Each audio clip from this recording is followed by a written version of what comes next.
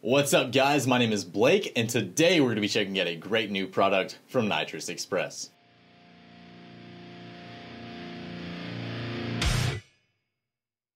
So today we're checking out a great new way to add power to your 2013 and newer Dodge Dart with a 2.0 liter engine.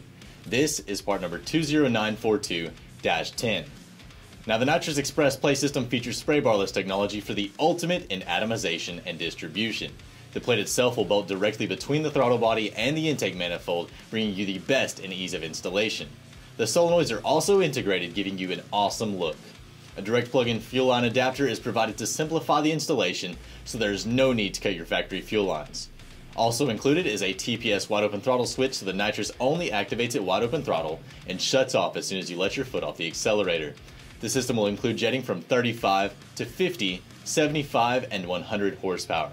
The system also includes 15 feet of stainless braided nitrous line, a master arming switch, a relay, a relay harness, and all necessary hardware to complete the installation. Also included is a nitrous bottle of choice, whether that be 5, 10, 12, or 15 pound bottles with the Lightning 500 bottle valve. Of course, we also include our stainless bottle brackets.